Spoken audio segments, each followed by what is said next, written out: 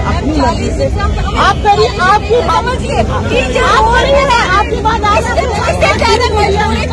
कोई मजबूरी नहीं होगी आप सुनिए मेरी बात जय हिंद, आप लोग देख रहे हैं जम्मू परिवर्तन में हूँ आपके साथ नरेंद्र सिंह ठाकुर। प्रेस क्लब जम्मू के बाहर से तस्वीरें हैं। यहाँ पर टीचर्स द्वारा जो है प्रोटेस्ट किया जा रहा है और आज सेक्रेट की ओर बढ़ने की कोशिश कर रहे थे, लेकिन ऐसे में पुलिस द्वारा जो है वो इन्हें यहाँ पर रोक दिया गया है। तस्वीरें आप देख सकते हैं कि लगातार इस समय बातचीत जो है वो पुलिस द्वारा इनसे की जा रही है ताकि ये आगे की ओर जो है वो ना बढ़ सके। कोई बंदा यहाँ पे आ रहा आ रहे आ रहे मेरे भाई आ रहे आ रहे मेरे को पता चल जाएगा आज तक उन्होंने कभी नहीं सुना। हम उनको बोल रहे हैं कि हम पीसफुली प्रोटेस्ट कर रहे हैं किसी ने हमारी नहीं सुनी।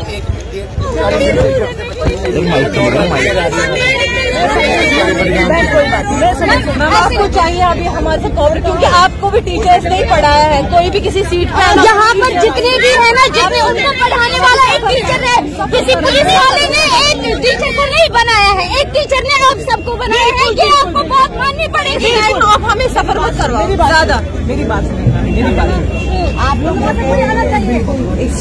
बहुत आ गए तो अभी तक नहीं बुला रहे हैं, ये क्यों बाहर आ गए अभी तक इनको समझ नहीं आ फॉलोइंग द आप चलो आप लोगों ने सारे चलो चलो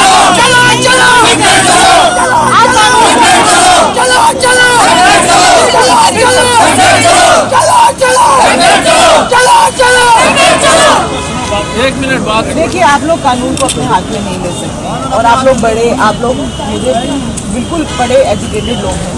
प्लीज़ आप लोग यहाँ बैठकर आपको जो जैसे फ्रीडम जो भी है आप बिल्कुल है और वो फ्रीडम और वही राइट हमें भी है। हमें सरकार के दौरान पे जितने हैं हम भी उसी हिसाब से चलेंगे। आप प्लीज़ प्लीज़ प्लीज़ आपकी हमारी मजबूरी है हम आपकी बात आप प्लीज़ आप चलिए आपकी बात पहुँच रही मैम नहीं पहुँच रही मैम देखिए मैम लास्ट टाइम तहसीलदार सर यहाँ पे आए।